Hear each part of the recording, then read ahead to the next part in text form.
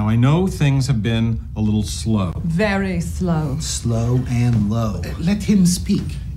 But we are not the big guys. We are the little guys. We never had muscle before, but now we do. Because last night I read a screenplay that every studio in town is going to want. And how did we get this screenplay?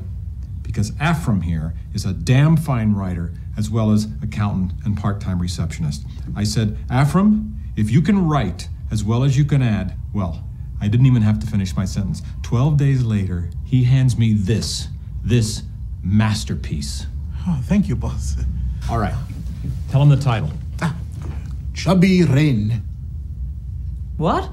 Chubby Rain. Tell him why. You see, the aliens come down to Earth in the raindrops, Yeah.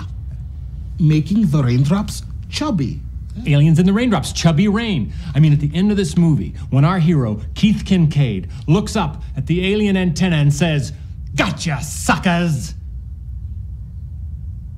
I mean, that is a moment. Man, I don't know. Just give me till this afternoon to close the deal. If I don't, you can go anywhere you want. Come here. Come here. Come here. Come here.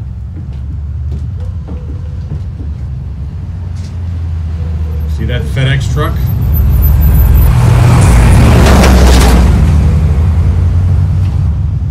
Every day, it delivers important papers to people all over the world. And one day, it is going to stop here, and a man is going to walk up and casually toss a couple of FedExes on my desk. And at that moment, we, and by we, I mean me, will be important.